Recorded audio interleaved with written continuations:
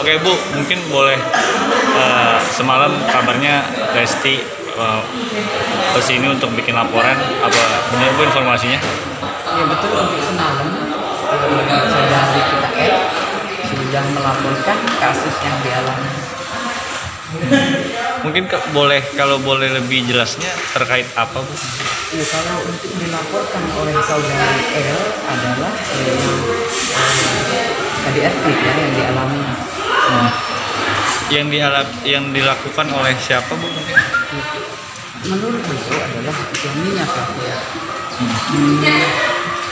Mungkin ada bukti apa Bu? Ada buktinya bu, visum. Ya visum, pasti kita melakukan visum karena yang dilaporkan adalah KDRT. Jadi bu- bukti dan fakta adalah visum.